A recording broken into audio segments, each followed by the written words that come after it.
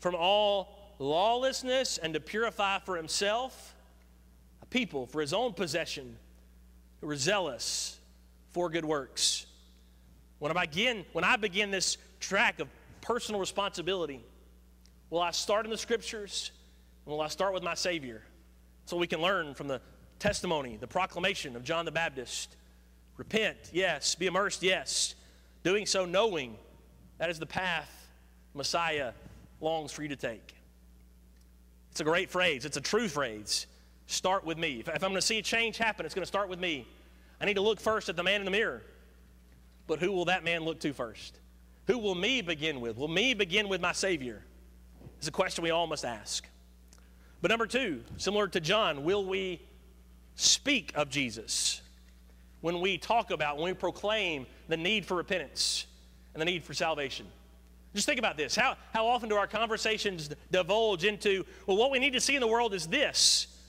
What our community needs is this. We need changes. We need improvements. We need success. We need growth. We ever have those conversations?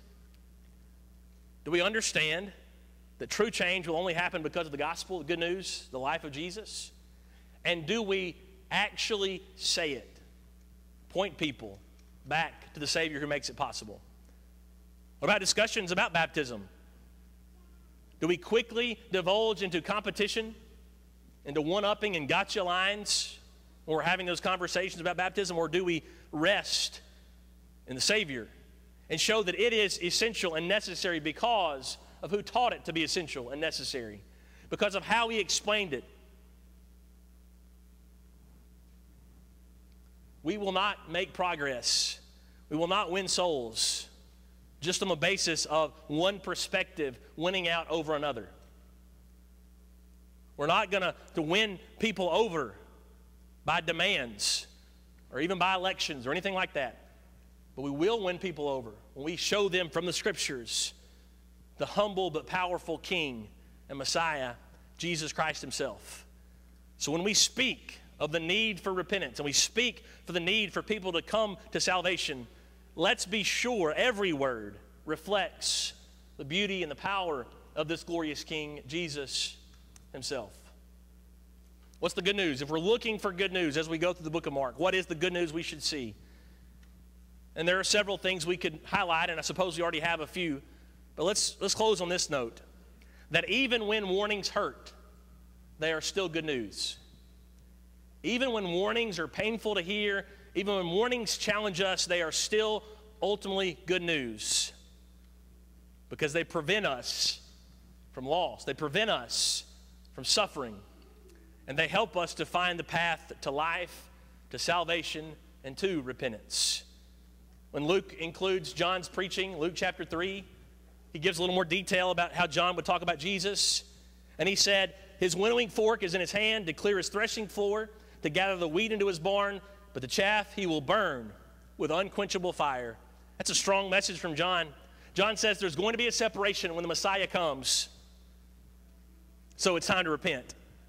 And listen to Luke's words that follow that immediately. There's John's strong preaching. There's going to be a great separation, so be sure you follow the Son. Listen to verse 18. So, with many other exhortations, he preached good news to the people. Luke called John's strong warning good news. Warnings hurt. Warnings are hard. The, the, the challenge to repent will exhaust us, it'll wear us out, it'll, it'll stress us out from time to time. But the progress we make in, in growing in the sight of God and in reaching souls because of that growth is ultimately good news and it's worth it. And how about you this morning? How's your soul in relationship to this good news? Do you hear the warning to repent, to change? Do you see the simple truth, the clear truth, the necessity of immersion? being buried in the waters of baptism, we know now from the rest of the New Testament that connects us to Jesus' death, where he then raises us. The same power that God raised him from the dead, he raises us to a new life, to walk in that life of repentance. If that's not the decision you've made to this point in your life, please don't let today end without making it. The water is ready, and we are ready. And we know deep down, if you've been thinking about it, you, are ready. Decide now. Please Come to Him, obey Him. If you've obeyed the gospel, but you've been living outside of it. You've been living in sin, allowed sin to reign in your life instead of the king to reign in your life. Please know that today is the best day to make your life right with him as well. He longs to embrace you, and we do as well. We'll walk with you, we'll pray with you, and love you every day forward. He's got a great message, a message that he promises forgiveness when we repent and obey him. If you need to do that today, if you need to do that today, please do it now as we sing. The Savior.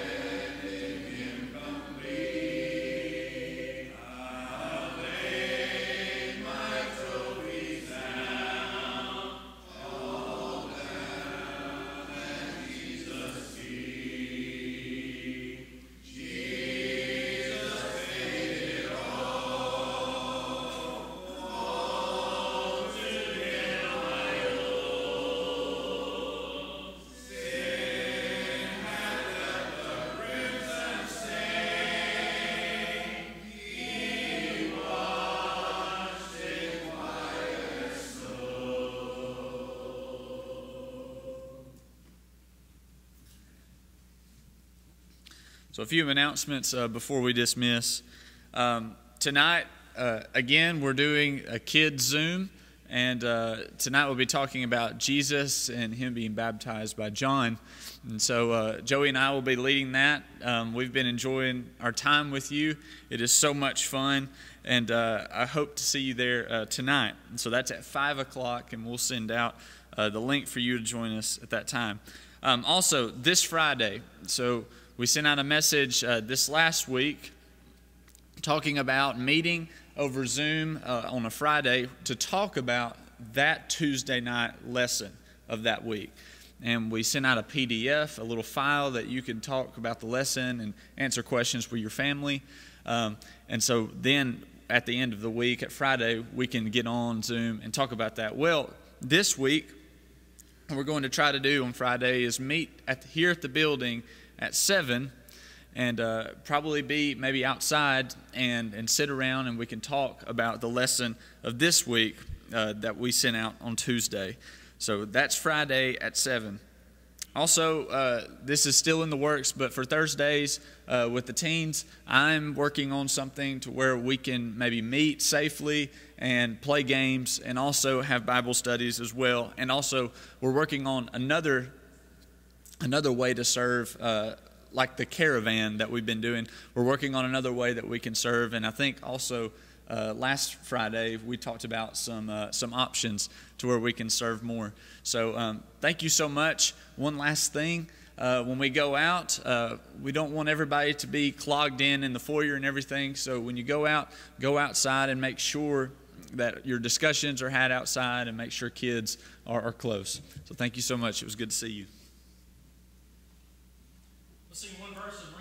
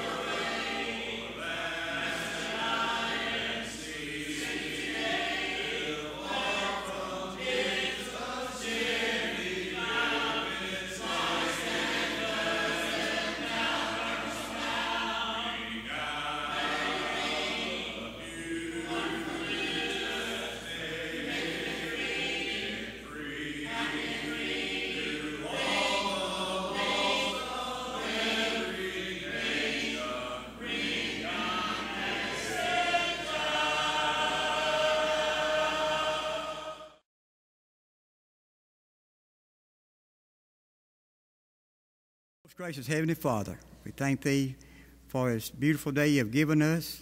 Heavenly Father, we thank Thee for this opportunity to come out here today to, to worship Thee in the Spirit and in the truth. And Heavenly Father, uh, thank Thee uh, for the good lesson we've heard from Brother Joy this morning. And let us take this good lesson, apply it to our lives as we go about our daily duties, and many souls be saved by our works here at the, at the church and be with our members and thank thee for the our food we receive, our clothes and shelter, all the many blessings of life we have received. And forgive us for our sins and bless the sick was mentioned and the doctors and nurses that caring for them. And Heavenly Father, we pray there'll be a vaccine soon that will stop this coronavirus and, and be with uh, the, those that's first responders that's taking care of the sick this, uh, this time. Heavenly Father, be with us as we leave here and guard, guide, and direct us until we meet again. In Christ's name we pray. Amen.